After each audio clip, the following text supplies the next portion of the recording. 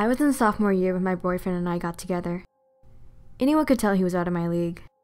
Everyone in our school knew him, and a bunch of girls would gather at the gates just to get a glimpse of him.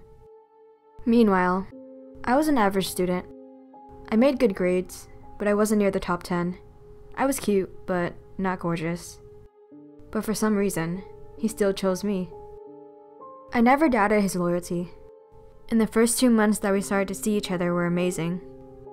It was like all the romance movies I'd seen, except 10 times better. All my friends said we were just in the honeymoon phase, but I didn't listen. I thought it'd last forever. But then he started to act strange. We used to walk home together all the time, but nowadays he would always stay after school. He used to always tell me about his day and what he did, but now he never told me anything. His phone's password used to be my birthday, but I realized he changed it whenever I tried opening it. No one would tell me anything when I asked, and it started to drive me crazy. He was definitely hiding something. I was sure of it. Whenever he started to avoid me in the hallways and ignoring my calls, I knew our relationship would probably be over soon. In the end, I stopped reaching out to him altogether, and dreaded the day he would tell me, We need to talk. One day, I stayed after school for a student council meeting. I joined because he used to be student president, but he dropped out right after I started. The plan was to decorate the gym for the school's upcoming dance.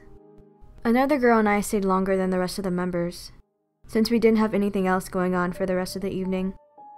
The girl's name was Harmony. She's someone I'd seen around school a couple of times, but never really interacted with. I don't know if it was because we were the only ones in the gym, or if I kept it bottled up for too long, but I started to confide in this girl about all the issues my boyfriend and I had been having. After listening, she said the only valid answer to the weird things he'd been doing was that he was obviously cheating. I was stunned. It hit me all at once.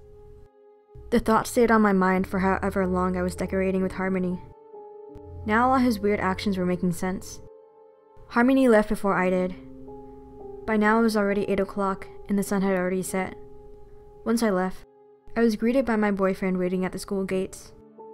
I tried walking faster to avoid him, but he grabbed my hand and said he was going to walk me home. The walk was awkward and silent. Whenever I looked at him, all I could imagine was him with someone else. He seemed to notice I wasn't acting like myself, and asked me what was wrong. Even though I tried hard not to admit it, I lashed out at him and accused him of cheating. All I could tell was his face seemed really shocked, and he tried to convince me I just misunderstood what was really happening. That's when I heard rustling in the trees behind us. I wasn't freaked out, because I thought it was probably a raccoon or something, but that was the most panicked I'd ever seen him. We took off running immediately. I didn't know what he saw that could have made him so scared, but I didn't want to find out. We eventually stopped running after getting tired, and we decided to hide. There was a playground that I remembered was near my house. It was a little creepy at night time, but of course that wasn't what I was focused on. At this point, I was freaking out and asking why we ran off. So he finally decided to come clean and admitted why he'd been acting so strange. According to him, a stalker had been threatening to kill me if we kept seeing each other. At first, he thought they just had a weird crush on him, but then he started to find animal hearts on his doorstep. Those times he stayed after school, he was trying to trace the letters back to the sender. The only lead was that they were in student council, but right now he was sure they were following us. My heart sank as he told me the story. But before I could respond, he put his hand over my mouth, and we heard the sound of someone crawling up the slide. We both looked at each other, then jumped down and sprinted back towards my house. We knew we wouldn't make it sprinting the whole way, since my house was still pretty far away. So we hid behind a tree to try and escape the person following us. Once they ran up, I put my foot out and they tripped. My boyfriend grabbed them and then I pushed back their hoodie. The person that was chasing us was Harmony. Her face was bruised, and I could tell she was just as out of breath as we were. Harmony gripped onto my shoulders and told me I needed to run as far away as possible. Your boyfriend isn't a cheater. He's a murderer.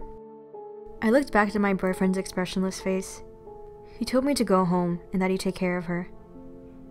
When Harmony and I made eye contact, there was a pleading look in her eyes. It was almost as if she was begging me not to leave. but I just couldn't stay. Not after she stalked him and threatened to hurt me. So I went home. The next day, I noticed that Harmony wasn't at the student council meeting. However, things seemed to be going back to normal between my boyfriend and I. He invited me over to show me all the hearts that Harmony had sent him as threats. Whenever I looked at the hearts inside the boxes, I knew right away. They weren't animal hearts. They were human hearts.